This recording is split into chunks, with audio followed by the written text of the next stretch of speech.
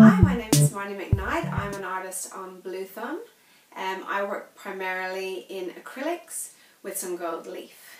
Um, the inspiration from my art comes from mainly from the weather, from nature. I've got a lot of cloud elements, sea elements, but I tend to focus on the balance between light and dark and how that works within our lives. I started off painting a lot of small monochrome paintings but now I tend to do a lot of big and often really colourful paintings too.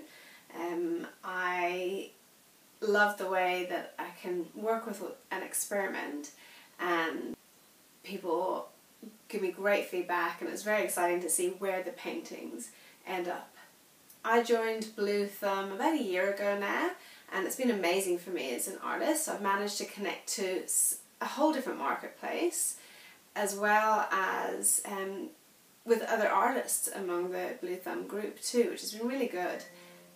Um, also, I've been able to be involved in collaborations that Bluethumb has offered me, so again, just expanding where the art can go, which is really, really cool.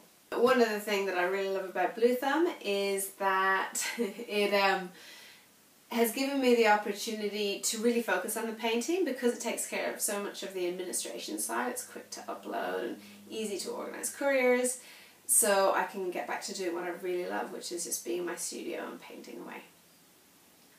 What I love most about being an artist is just the freedom. The fact that I'm now doing creative work. I've drawn and painted all my life but never thought it could be a career and the fact that it is is just beyond my dreams. It's just it's really cool. I will actually be moving overseas later this year and so I'm just really excited to see how the different environment might change my art or change my direction and to see how the rest of the world also responds to my work will be really challenging and fun